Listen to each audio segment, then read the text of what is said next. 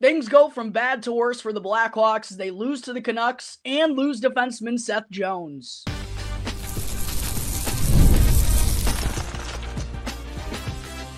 Your Locked On Blackhawks, your daily podcast on the Chicago Blackhawks, part of the Locked On Podcast Network. Your team every day. What's going on, Blackhawks fans? Welcome back to another episode of Locked On Blackhawks, part of the Locked On Podcast Network your team every day. Real quick, just a reminder to please go and hit that like button, comment down below, and most importantly, subscribe to Locked On Blackhawks on YouTube. It's 100% free, will not cost you anything, not even a single penny, and really does help me out tremendously as I'm so close to reaching my goal of 2,000 subscribers. And last but certainly not least, I got to let you all know as well that today's episode is sponsored by Indeed. Are you still searching for a great candidate for your company? Don't search, but match with Indeed. If you need a hire, then you need Indeed. All right, good morning, everyone. Thank you all again, as always, for joining me on another episode of Locked On Blackhawks, your one stop shop for all things Chicago Blackhawks. Hope everyone out there had themselves a wonderful weekend. Unfortunately, though, as the thumbnail of today's episode reads, things went from bad to worse for our Chicago Blackhawks over the weekend as they wrapped up their mini two game West Coast road trip on Saturday night. Their third serious road trip of the season already with a, another 9 p.m. Central Time puck drop. Fortunately, Blackhawks fans, this will be the final, or that was the final 9 p.m. Central Time puck drop the Blackhawks will have on their schedule until February 27th against the Vegas Golden Knights. So I guess one uh, silver lining of all these early road trips is you kind of get them out of the way here early on in the season. But another 9 p.m. Central Time puck drop for the Blackhawks on Saturday in Vancouver. Given it was 9 p.m. Saturday night, a lot of other things going on. I don't anticipate, plus the current state of this Blackhawks team and everything that's been going on recently, I don't anticipate there were too many people highly invested or watching this game from start to finish.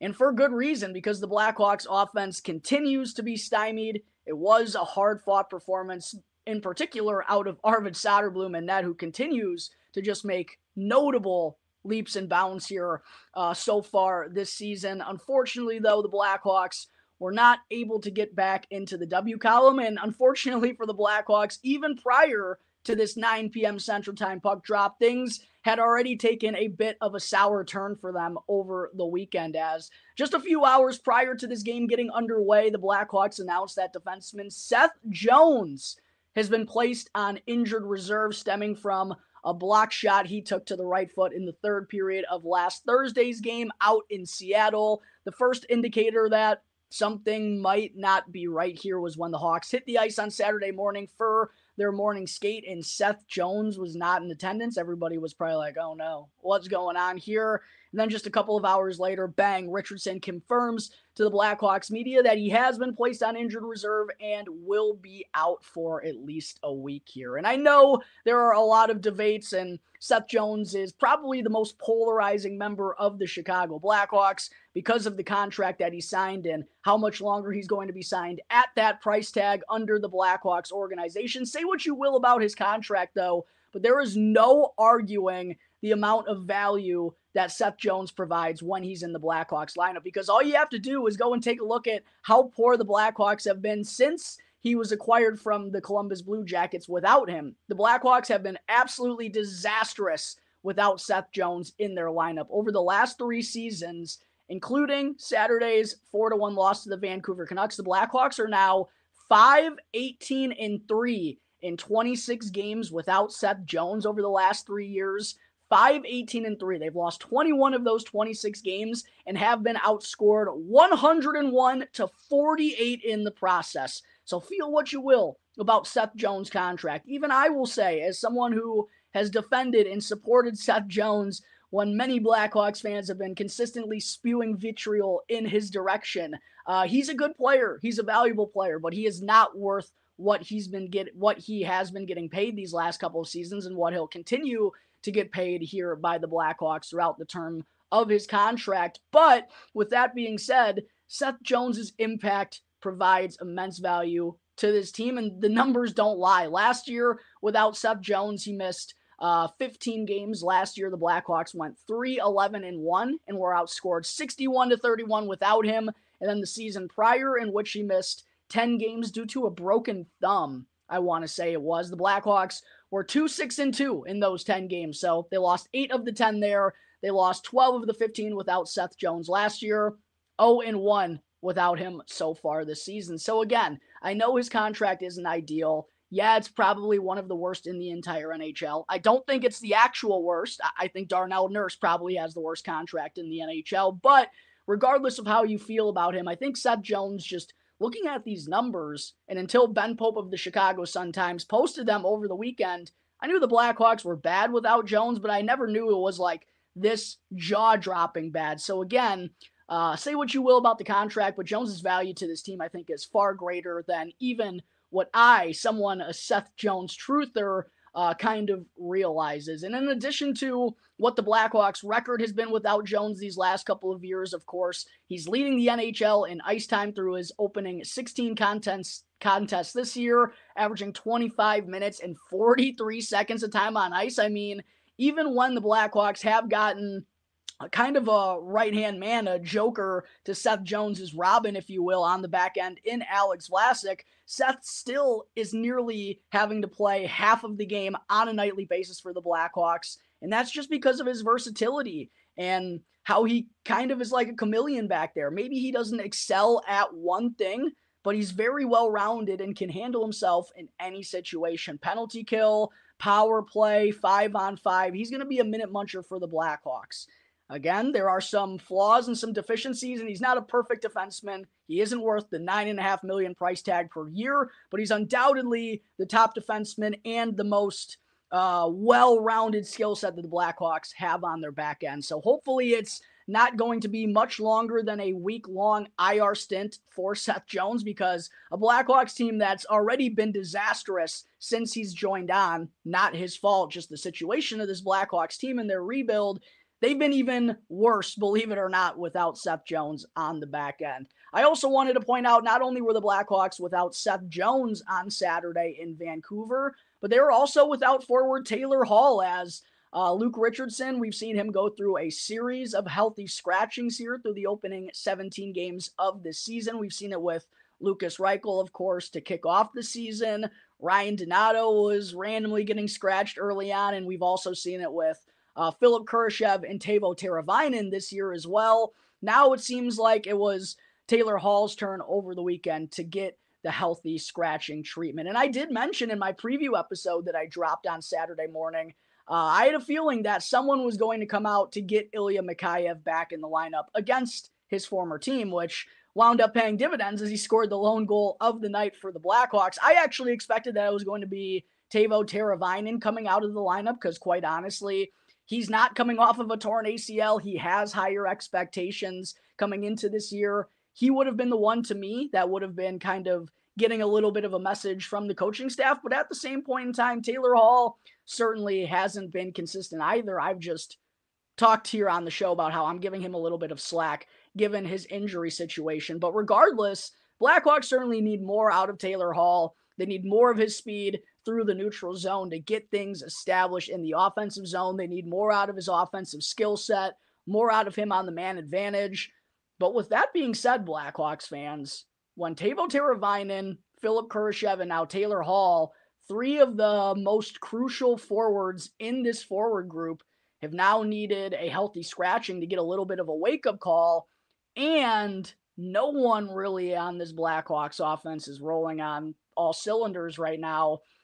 I think there's kind of a bigger theme going on than uh, just a Taylor Hall underwhelming or a Philip Kurashev underwhelming. It seems like there's kind of a greater problem going on with this Blackhawks offense as a whole. Yes, I've said time and time again, these players need to be better, but I think a lot of signs are starting to point towards Luke Richardson and this Blackhawks coaching staff.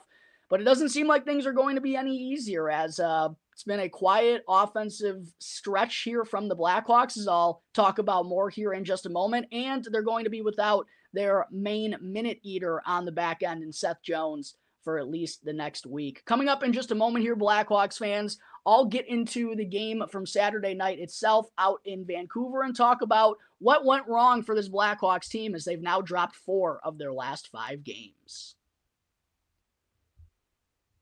But first, I got to talk to you all real quick about Prize Picks. Prize Picks is America's number one daily fantasy sports app with over 5 million active members.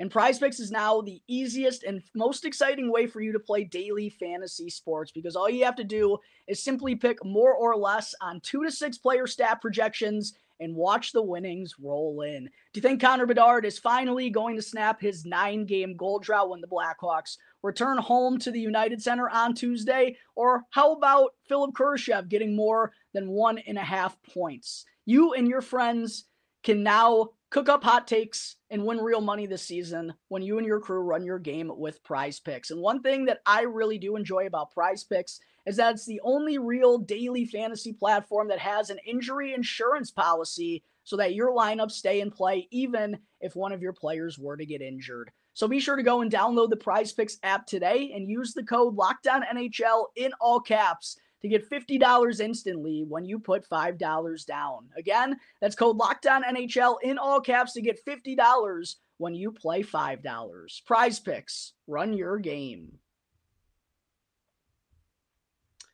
Back here on the Locked On Blackhawks podcast, part of the Locked On Podcast Network your team every day. Real quick, just wanted to say thank you all for making Locked On Blackhawks your very first listen here to start off your week. Now, for your second listen, make sure to go and check out the Locked On Fantasy Hockey Podcast so that you can become a fantasy hockey expert and get the edge over your league mates with daily tips from Steel and Flip.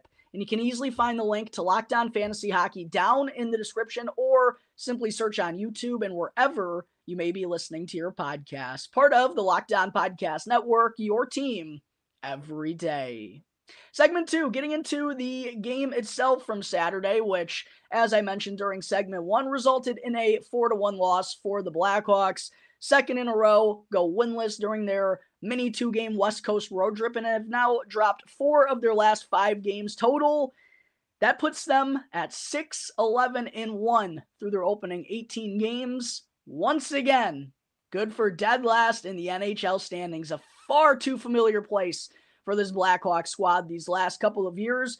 It actually was a close contested, tight knit game on the road for the Blackhawks, as most of their games have been this year. It's not like the Blackhawks are getting blown out. It's not like they look completely lost out there as a whole. You know, it's not like they're getting absolutely waxed in terms of the scoreboard. A lot of that is because of their good goaltending. But for the most part this season, the Blackhawks have found themselves in close games that go right down to the wire. They just can't do enough to win them. And that was a pretty similar story once again to what we saw on Saturday when diving into the what went wrong for the Blackhawks. It's almost like Stop me if you've heard this before, Blackhawks fans. Number one thing that went wrong, I thought, was the momentum completely shifted over in the Canucks' favor in the second period, aka Blackhawks were not able to put together a full 60 minute game, as has been the case for the entirety of the year.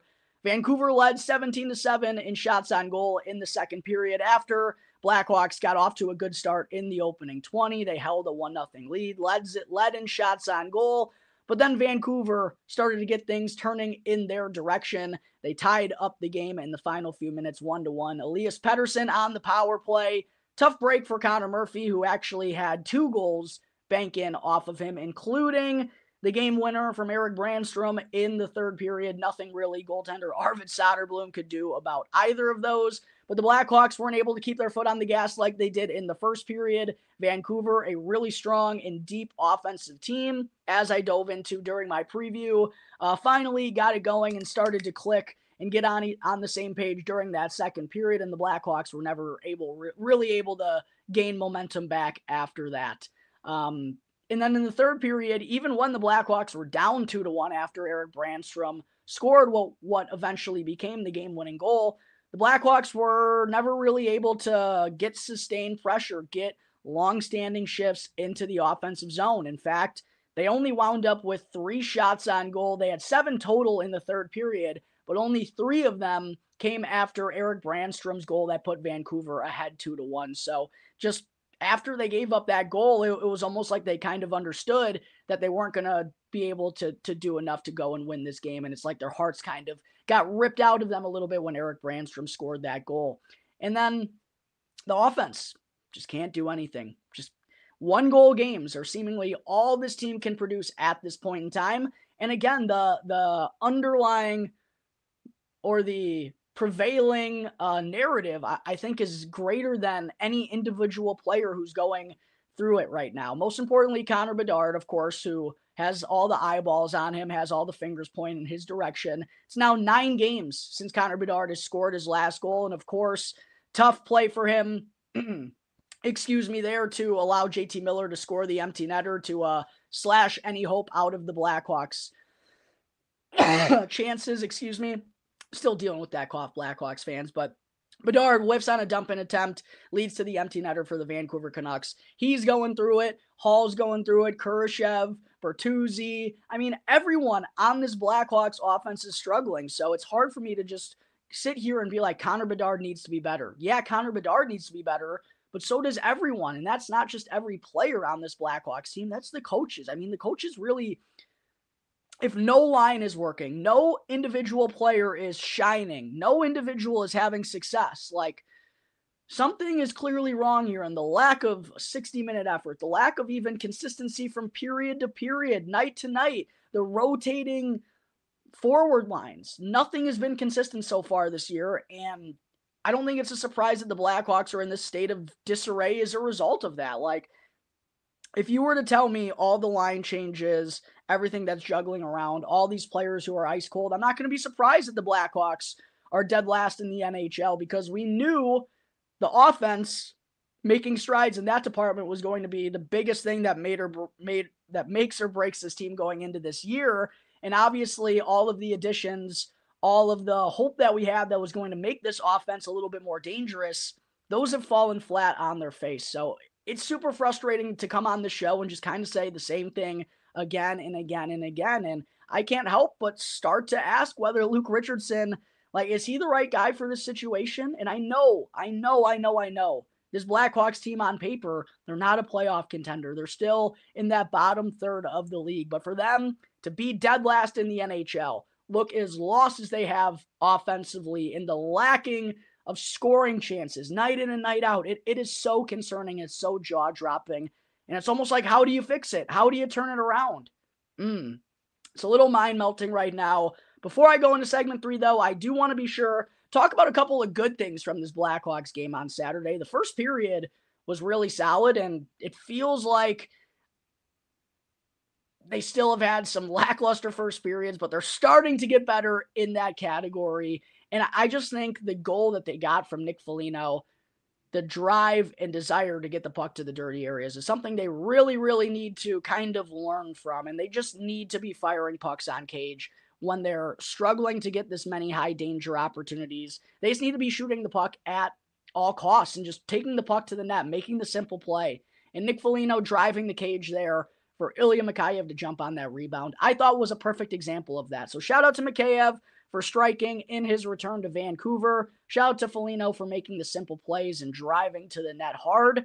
Uh, hopefully, that's kind of a memo the Blackhawks can take and use to their advantage moving forward. The biggest, biggest, biggest shout out that comes from this game on the Blackhawks side of things, though, undoubtedly is for Arvid Soderblom, who just continues to be stellar in this backup role. A huge change from what we saw from him last year, where he didn't even look like an NHL caliber goaltender. Now, believe it or not, Arvid Soderblom has the best save percentage in the NHL for all goaltenders who have played in five games. He stopped 29 of the 31 shots that he faced on Saturday. As I referenced, both of the Canucks goals banked in off of defenseman Connor Murphy, and then they went on to add two empty netters. Soderblom is unfortunately 1 3 and 1 now this year. He's lost four of his five starts. In all four of those losses, the Blackhawks have only mustered up one goal of support. He's got a 2.22 goals against average and a 934 save percentage. Huge cap tip to Arvid Soderblom for shutting up all the haters. And this is why you stay patient with young players, Blackhawks fans. Even last year, when Arvid Soderblom was going through the ringer, everyone was giving it to him. I tried to stay level on the show and say, listen, he's only 23, 24 years old. He's in a god awful situation where he's in over his head and doesn't really have an NHL caliber defense in front of him. I know everyone's shocked, and I'm pretty surprised too to see Arvid Soderblom playing at this level, but to see him figuring it out at the NHL level isn't the most mind melting thing to me. So good to see him really turn it around, regardless of how long he's going to stay up here, as everything is still up in the air with Laurent Brossoit right now, regardless of how long he's here or whether he's going back down to Rockford. This is just such a huge stepping stone in his career in terms of proving to himself that he can get it done at the highest level and just also the mental confidence that it'll ingrain in him moving forward at whatever stage he's going to be at. Shout out to Arvid Soderblom for giving his team a chance on Saturday. Shout out to the Blackhawks goaltenders through the entirety of this year for giving their team a chance basically on a nightly basis. Dire times for this Blackhawks squad right now with this real struggling offense that has gone absolutely ice cold. There are my thoughts from a frustrating loss on Saturday in Vancouver. Coming up in just a moment, before I wrap up today's show, Blackhawks fans, I still have to get into our weekly Mailbag Monday fan segment. But first, I got to talk to you all about Indeed. We're all driven by the search for better in this world. But when it comes to hiring, the best way to search for a candidate isn't to search at all. Don't search, but match with Indeed. And if you need to hire, then you need Indeed because Indeed is the best hiring and matching platform with over 350 million global monthly visitors, according to an Indeed according to Indeed data. And Indeed doesn't just help you hire faster. 93% of employers agree that Indeed delivers the highest quality matches compared to other job sites, according to a recent Indeed survey. And one of the things that I really do enjoy about Indeed is that it makes hiring all in one place so simple and so easy because you can skip out on the countless job sites that ask you unnecessary information and unnecessary questions and still doesn't wind up leading you anywhere. Instead, go and join more than 3.5 million businesses worldwide that currently use Indeed to hire great talent in an instant. And viewers and listeners of this show will get a $75 sponsored job credit when you visit Indeed.com slash lockedon right now. Again, that's Indeed.com slash lockedon. Need to hire? Then you need Indeed. Segment three, it's time for yet another Mailbag Monday here on the Locked On Blackhawks podcast. And just as a reminder, go and drop your Blackhawks question down in the comment section below if you're watching this on YouTube right now. If you're tuning in through an audio platform and have a Blackhawks question that you want to ask, please make sure to reach out. Go and jump on over to YouTube and drop it in the comment section. You can also DM me on any one of my social media channels or even email lockedonblackhawks at gmail.com. I love Mailbag Monday. I love interacting with all of you Blackhawks fans and listeners out there. But I won't be able to do this segment if you don't reach out with your questions. So please make sure to reach out on any one of my socials, email, or in the comment section on YouTube. First question I wanted to answer here today comes from FRD Wendlier. Wendlier. I apologize if I completely butchered that name. Uh, on YouTube, who asked, any chance the Blackhawks trade one of their defenseman prospects for a forward? Bedard clearly needs some help here. And this is just going to be an interesting conversation, even if the Blackhawks offense wasn't struggling the way it is right now. This will be an interesting discussion moving forward, just given the sheer number of defenseman prospects the Blackhawks have. Alex Vlasic obviously has established himself as part of the mix, but along with he and Seth Jones, that's two of the six defenders. We know Seth Jones is going to be here long term because of that contract. There's Kevin Korchinski, Artem Levshunov, Wyatt Kaiser, Nolan Allen, Ethan Del Mastro. Can kind of throw Louis Crevier and Isaac Phillips into that mix. There's a lot of defensemen the Blackhawks have, and there's clearly not enough room for all of them here. Now, at the same point in time, not all of them are going to establish themselves as everyday NHLers, but it does feel like a, from afar that there is going to be a time where the Blackhawks are going to have to kind of choose an odd man out. And I do wonder, to me, the two, the, the three candidates for being odd men out would be Ethan Del Mastro, Nolan Allen, and Wyatt Kaiser. To me, those seem like they could be the odd men out. It's not going to be Vlasic. I don't think it's going to be Korchinski, and it's not going to be Artem Levshunov as the number two overall pick. The other three are going to be the real interesting ones. I personally think you don't really need both Nolan Allen and Ethan Del Mastro. They're kind of the same style of defenseman. Personally, I'm higher on Ethan Del Mastro, but obviously Kaiser, or excuse me, Allen was the one who won over the coaching staff here in training camp, had the better camp, and has since been a staple of the Blackhawks lineup for the most part here. I think it could be one of those two that ultimately wind up getting, getting traded. Now, with them being defensive minded defensemen and not a ton of offensive game, I think Ethan Del Mastro has the better offensive game of the two. That's why for me, he would probably be the one that I would choose. But with that offensive game, he also might be the one, and it's not an elite offensive game or anything. He just has better puck moving skills than Nolan Allen, I believe. I think he could be the most, the more intriguing of the two as a trade chip prospect, which would absolutely break my heart. Ethan Del Mastro was the first Blackhawks prospect and first like pro hockey player, I guess you could say, that I ever got to interview. Uh, but it does feel like, yeah, one of those guys could be in the mix potentially for a forward prospect in return as well. Definitely think that's something to keep an eye on these next few years. Next question comes from PHHDVM on YouTube, who asked, What players who are in the lineup right now will not be back next year? And how about after next season? So, taking a look at Puckpedia, Taylor Hall, Andreas Athanasiou, Philip Kurashev as an RFA, Ryan Donato, Pat Maroon, Craig Smith, Alec Martinez, Wyatt Kaiser as an RFA, Arvid Soderblom as an RFA, and Louis Crevier as an RFA are all set to have expiring deals for the Blackhawks. Um, after next year, I could easily see Hall being gone, Athanasiou being gone. Uh, Donato, I think, is someone who kind of fits the bill, someone who could be a cheap re-sign for a couple of years, but it ultimately does come down to a numbers game as far as what Kyle Davidson projects. Maroon, Smith, and Martinez, I think, are all good as gone, as well as Hall and Athanasiou. Uh, Kurashev is going to be an interesting one as an RFA. Same with Soderblom and Crevier and Kaiser. I think Kaiser's going to come back. Soderblom, from what he's shown us now, is undoubtedly going to come back. But all those guys that I mentioned as UFAs, outside of Ryan Donato, I think he's kind of the one that's up in the air the most. I could really see all of them being gone. And then as far as the season after that, that's when uh, Brodie comes off of the books, Murphy comes off of the books, Foligno comes off of the books, Dickinson comes off of the books, as well as Mikheyev and Anderson, plus Lucas Reichel and Connor Bedard as restricted free agents. And quite honestly, maybe Jason Dickinson comes back, but the rest are, are going to be pretty old. And, you know, Joey Anderson, Ilya Mikheyev aren't guys that really, you know,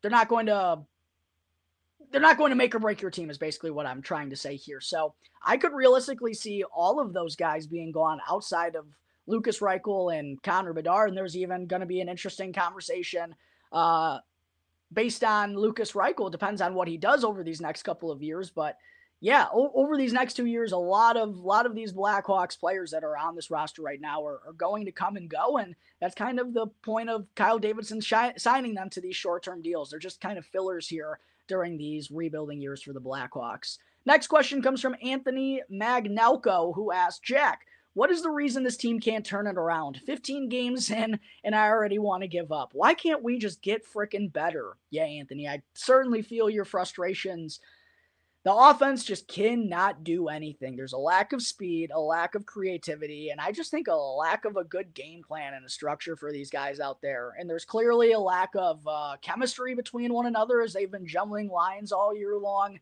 Most of it stems from the offense because defensively, the Blackhawks have been about league average in that category, and their goaltending, I think, has definitely been above league average. It's just the offense that is absolutely letting them down. And just because it's happened pretty consistently through their first 17 games. And as I mentioned earlier, literally no one in this offensive group is exceeding expectations outside of Ryan Donato.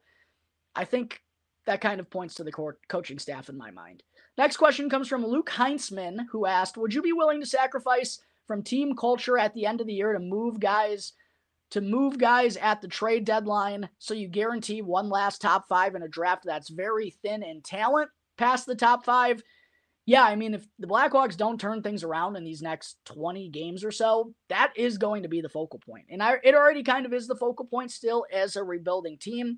They wanted to get better, but Kyle Davidson, as a realist, I'm sure knew this team wasn't going to be very good. Um, so I'm sure they've been keeping an eye on the 2025 draft as well. And as you mentioned, there's a pretty clear cut top five. Um, so yeah, I absolutely do think they'd be willing to do that. And quite honestly, guys like Taylor Hall, Alec Martinez, Craig Smith, who's found the back of the net with some nice goals this year, I think they're all going to be moved at the deadline ultimately. Andreas Athanasiou as well, right? I definitely would say that's part of the expectations. Next question comes from Tarun Kalra. I believe I pronounced that correctly. I apologize if I didn't. 1091 on YouTube who asked, when does Kyle Davidson stop getting a pass? The NHL product is a joke. Our prospects are strong, but I don't see a top six guaranteed offensive forces as Demidov is as advertised. Of course, Levshunov is a nice prospect, nothing or above the other seven to eight. D-men taken 5 to 15 picks later. When does Kyle Davidson stop getting a pass? Well, Luke Richardson definitely has to answer questions before Kyle Davidson does. Um, Kyle Davidson isn't getting a pass. There are a lot of people who are frustrated with his free agent signings and the lack of production we've gotten from Teuvo Teravainen and Tyler Bertuzzi. I don't think Kyle Davidson is getting a pass. It's just I think there's an understanding that this is going to take a while. And I want to preach continuously that it is going to be a long process here.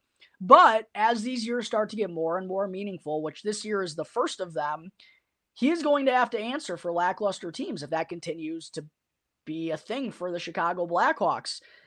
I don't think you can really point too many fingers at Kyle Davidson and be pissed at him for this year, but the next season, that ramps up a little more. And the season after that, that ramps up a little bit more. I certainly understand the frustrations, especially with the Blackhawks struggling offense and them taking a defenseman with the second overall pick. It's why I wanted to take Ivan Demidov, especially because there were a lot of defensemen who I said Levshunov deserves to be the first off the board, but it's not like he was leaps and bounds ahead the rest of them. Um, but regardless, even if the Blackhawks took Ivan Demidov, this forward group would still be struggling right here, right now. So that that's kind of a moot point to me. We just got to be a little bit patient with Kyle Davidson, but I agree. With each season, his job becomes more and more meaningful in terms of winning right here, right now. Last question I'm going to answer on the show today comes from Lionel the Goat 3221, who asked, What are the odds the Blackhawks replace Richardson before the season's end? We can't do anything. Offense is awful. Bedard even looks bad. We need a new coach. I haven't loved how Luke Richardson's gone about things uh, this so far this season. I wasn't, you know, really thrilled with how he handled some of the young players last year. So I am not the biggest fan of Luke Richardson. But with that being said, I would not anticipate him being fired during the season. I, I think there is a very, very, very thin chance that winds up being the case again, just because of the realistic goals of the Chicago Blackhawks team. Are they underachieving them?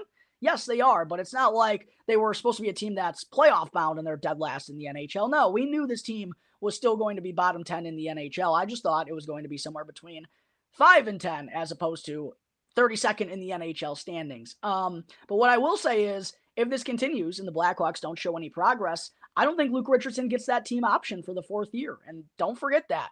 Four year contract that Luke Richardson signed. He's in year three of it but the fourth year is a team option, which is kind of a rarity for the NHL and their head coaches. But if this continues, I don't know how the Blackhawks, Kyle Davidson, in this front office would be able to bring him back for year four. Don't expect him to get fired during any point of the season. But if this keeps up, I don't think he's going to be the head coach of the Chicago Blackhawks for the 2025 2026 campaign.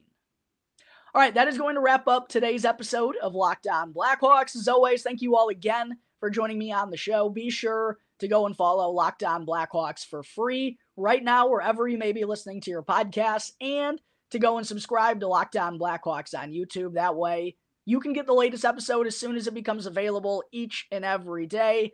As always, I'm your host, Jack Bushman. You can go and check me out on X at Jack Bushman too, but be sure to follow Locked On Blackhawks. That way, or at Talking Hockey. Oh my God, Locked On Blackhawks. Go and follow at Talking Hockey on X. That way, you can get all of the latest Blackhawks news and updates. So until tomorrow's episode, everyone, I know it's been a crummy start to this year for the Blackhawks. I'm right there with you. Do your best. Have a great rest of the day. I'll see you next time on the Locked On Blackhawks podcast, part of the Locked On Podcast Network, your team every day.